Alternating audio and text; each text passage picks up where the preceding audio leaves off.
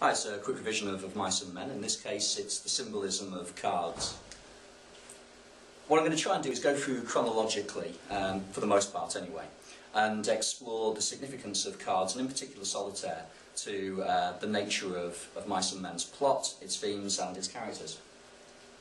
So first of all, the description at the beginning of chapter 2. In the middle of the room stood a big square table, littered with playing cards, and around it were grouped boxes for the players to sit on. Well, first of all, it's significant that uh, this table is placed in the middle of the room. It's the central focus for the characters. Cards are central to the life of the men, and gambling is one of their few means of escape from the mundanity of their existence. But there's something tragic about this. There's something quite hopeless and pathetic about it, because if chance and gambling is their one means of escape, Steinbeck is at pains throughout the novel, really, pointing out that there is no chance, there is no escape, that their lives are really governed by fate, and there's no way to escape that fate. So this gambling, this idea of chance, is a false hope, a false chance. Uh, the second thing is the word littered. Uh, littered has connotations of a lack of care, of disposability, of rubbish. It seems that the men invest their hope and their care in this means of escape, these cards, these, this chance, but it's a false hope. Later in chapter 2, uh, George discusses Curley with Candy, and it states that he cut the cards and began turning them over, looking at each one and throwing it down on a pile. He's not playing cards, he's essentially just looking at them.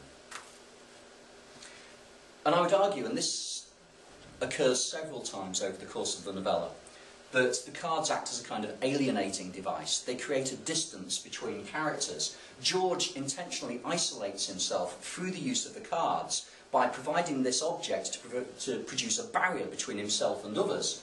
They act as a kind of defence mechanism, so he doesn't have to fully engage with other people. He's not playing a game, he's essentially giving himself something to focus on rather than the characters that are around him.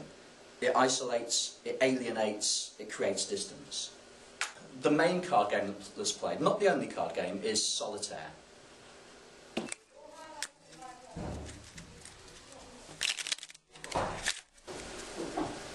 So when George discusses Curley's wife with Candy, George cut the cards again and put out a solitaire lay, slowly and deliberately. Purdy? He asked casually. Yeah, Purdy, but... George studies his cards. But what? Now, Steinbeck's choice of solitaire is going to be intentional. It's clearly symbolically significant, as it's a game that's designed to be played alone. Again, that sense of alienation and isolation is being reinforced by Steinbeck. Etymologically, in terms of the meaning of the word, solitaire is from the French meaning solitary. So that sense of loneliness can be articulated just through mentioning the game. And I would argue that a kind of symbolic manifestation of George's loneliness and isolation. It's particularly moving and ironic, given that um, he claims that we got somebody to talk to. This is the thing that distinguishes him and Lennie from all of the other ranch workers, according to George. We got someone to talk to. And yet, whether it's consciously or subconsciously, George plays solitaire in order to stop himself talking to others in order to create distance. One of the interesting things about this description is the use of these adverbs. They are really heavily contrasting or antithetical, deliberately, casually. We have this contrast between the deliberate, purposeful way in which George deals with the cards and the casual way in which he talks what we see is the deliberation represents the kind of attitude toward the situation that he's in. He is deliberate with the cards and is obviously reflective. But this casualness is mock. He wants to seem as if what he's talking about has no consequence, but we recognise that it does through the contrasting adverb deliberately. Steinbeck actually makes this explicit just um, a few lines later, where he says, George pretended a lack of interest. But we should have been able to recognise that lack of interest previously through this contrast of, contrast of deliberately and casually. It's worth recognising that um, in chapter 3, and this is where I'm stopping being chronological for a moment, we again get the same adverbs used. George asked casually, been any trouble since you got here? It was obvious that Whit was not interested in his cards. He laid his hand down and George scooped it in. George laid out his deliberate solitaire hand. The fact that those two words are repeated just a chapter later shows how carefully Steinbeck has considered their use and how important he feels they are. It's that contrast between the way the cards are played and the way he speaks that provides a sense of the way he talks and the way he feels.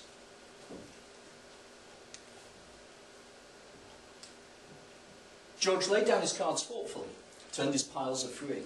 He built four clubs on his ace pile. The sun square was on the floor now, and the flies whipped through it like sparks. The sound of jingling harness and the croak of heavy-laden axles sounded from outside. From the distance came a clear call. Um, it's worth recognising that it's only when George kind of truly feels alone that he begins to actually play solitaire properly. The mood of the novella shifts at this point, and it becomes more active, it becomes more purposeful as George himself gains purpose in the uh, playing of the cards.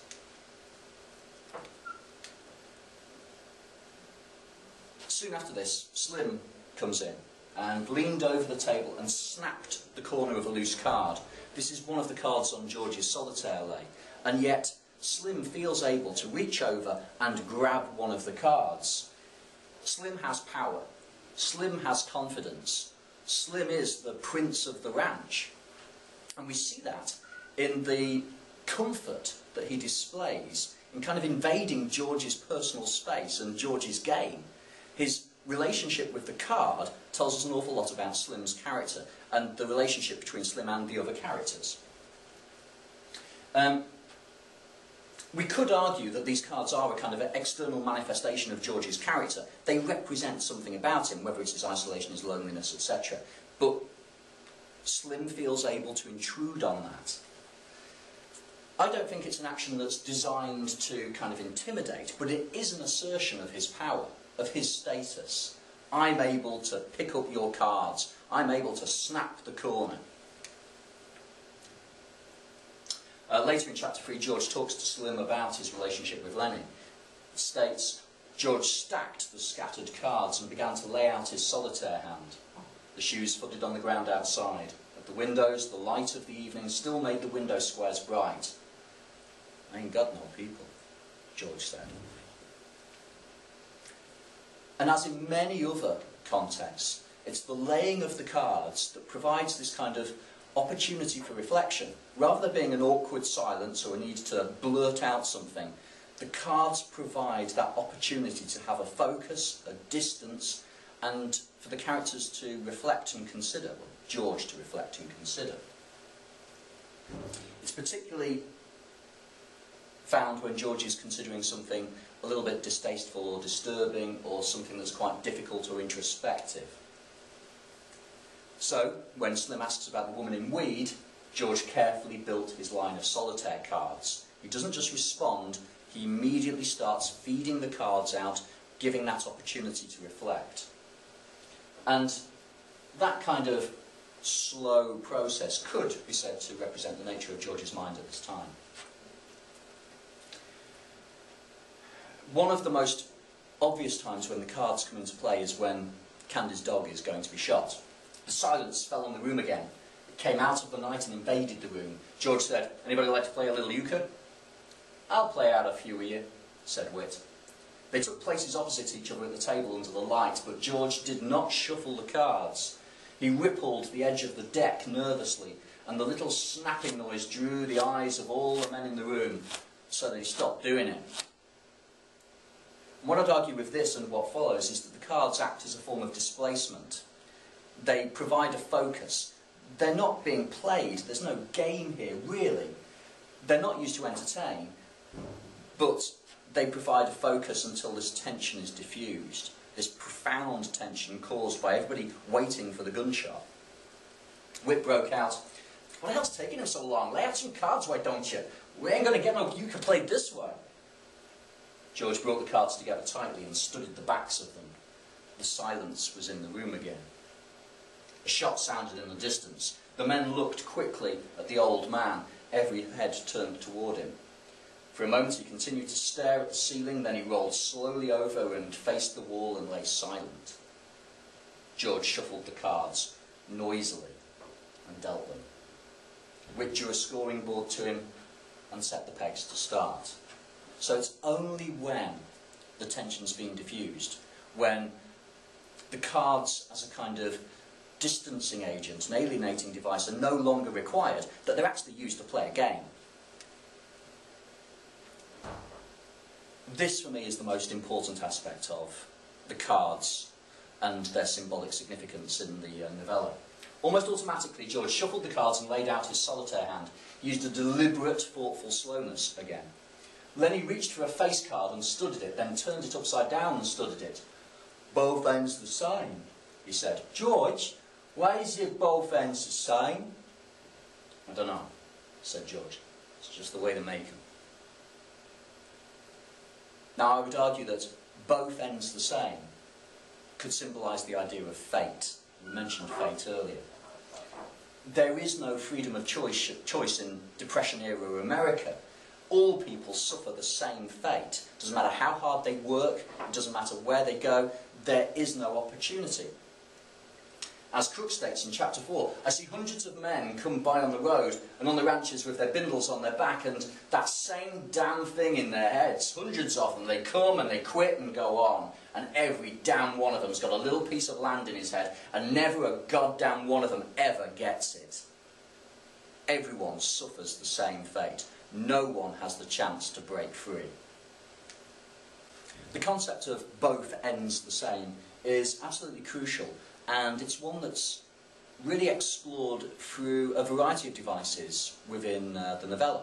So that, for example, the classic example is the novel's narrative symmetry. The novel begins and ends at the waterhole. Um, both ends the same, both the beginning and the end. It can also be in seen in the symmetry of some of the chapters. Chapter 5 is the classic example. It begins in the barn, it ends in the barn. We've got the rattle of the harness of the horses at the beginning, we've got the rattle of the har harnesses of the horses at the end. We also see it with the parallel between Candy and his dog. Both ends the same. The dog gets shot. Candy wants someone to shoot him. Now, I know he says, you know, nobody's going to do that but essentially they are both old.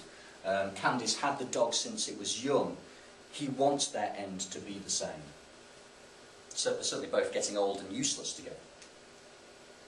And finally, um, with Lennie and the dogs, you know, Lennie and his puppy, both of them meet um, a rather nasty fate. And also, Lennie is frequently compared to a dog. Uh, that sense of loyalty that sense of faithfulness, both ends the same. And finally, just to pick up on a few of those key points, um, I would say that uh, solitaire and cards together really symbolise isolation, perhaps George's desire to be apart from Lennie, or the isolation of migrant workers in American society as a whole. They symbolise loneliness. They symbolise fate and fatalism that's just the way they make them. Both ends the same. And with both ends the same, it could refer to the ends of the characters, you know, their deaths, or their inability to break free, um, and the way their lives will all end up the same way. Uh, we need to consider how exotic and strange the characters find the idea of one of their own writing a piece for a magazine. Whit's beside himself with um, excitement when he reads this because it seems impossible that anyone could escape the kind of life of the ranch worker, and just a letter to a magazine seems to suggest that possibility. Uh, similarly, the idea of owning their own piece of land seems fantastic. To George, it really is a fantasy. He never believes it's actually going to come true. Um, and it could foreshadow the parallel between Candy's dog and Lennie. Remember, Lennie's the only character who's not in the bunkhouse when Candy's dog is shot outside the bunkhouse. Okay, thanks.